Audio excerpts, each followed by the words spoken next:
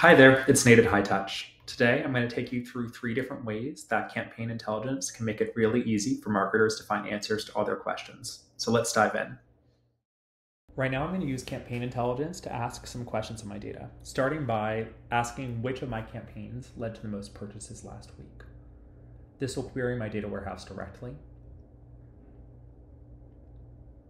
All right, I've got results. Looks like of the campaigns that I had named, the abandoned cart was the best one.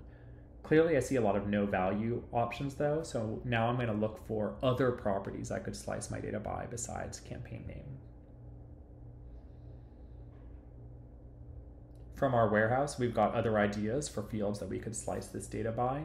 For the next example, I'll take a closer look at UTM source. And this time, rather than looking at conversions, I'll look at homepage visits just to show a different metric in action. Um, and rather than just looking in aggregate, I'll break this down over time so we can see if we can see a trend line. Great, so now I can see my homepage visits by UTM source over time, how that changed over the last week.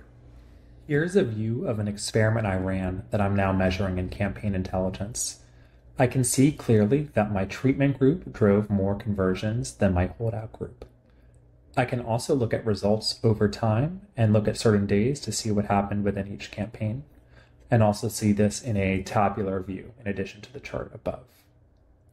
If I want to measure different metrics to make sure my experiment didn't have any unintended consequences, I can easily select those or define new ones. For example, rather than looking at the number of transactions, I can look at the number of offers claimed to make sure that my experiment still won on that particular metric as well. All right, here I'm going to build a custom funnel from scratch.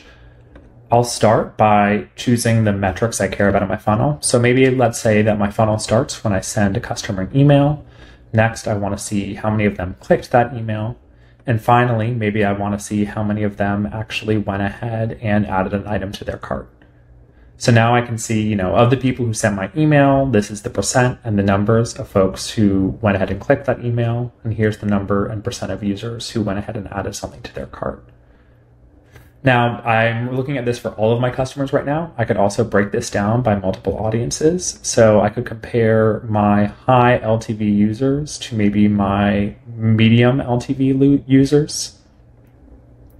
So here in green, I have my medium LTV users, and in purple, I have my high LTV users. So as you might expect, my high LTV users performed slightly better throughout this funnel than my medium LTV users did.